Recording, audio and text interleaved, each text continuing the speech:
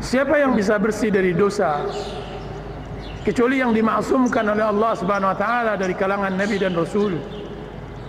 Rasulullah SAW bersabda, "Laulam tuznibu la dhahaba Allah bikum wa la atallahu biqaumin muznibin." Summa yastaghfiruna rabbahum faghfara lahum. Jika seandainya kalian tidak berdosa, maka Allah Subhanahu wa taala akan buang kalian. Dan akan Allah datangkan orang-orang yang berdosa. Kemudian dia beristighfar kepada Allah. Kemudian Allah ampunkan mereka. Jika seandainya kita tidak berdosa bagaimana Allah Subhanahu wa taala menampakkan kasih sayangnya kepada kita?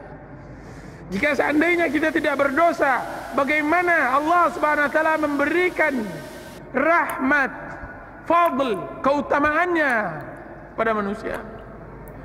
Jika seandainya kita tidak berdosa bagaimana nikmatnya bermunajat kepada Allah? Dan alangkah nikmatnya hidup menjadi budak Allah hamba Allah menghambakan diri kepada Allah azza wajalla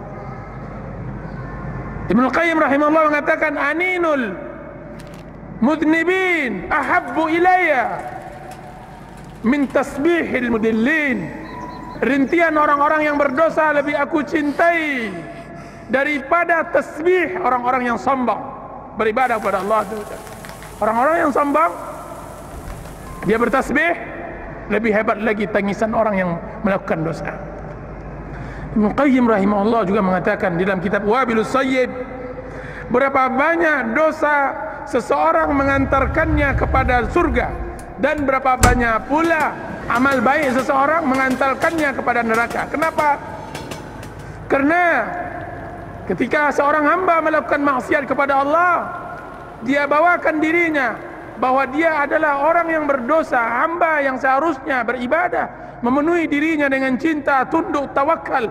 Sekarang dia telah berpaling, kemudian dia kembali bertaubat, bersimpuh, bertawakal, bermunajat kepada Allah. Thumma yatubu Allah min ba'di dhalika ala man yasha. Dan dengan dosanya tersebut, melalui dosanya tersebut, dia bisa bermuamalah di dalam ibadahnya kepada Allah, maka memasukkan dia ke surga. Wallahu ghafurur rahim.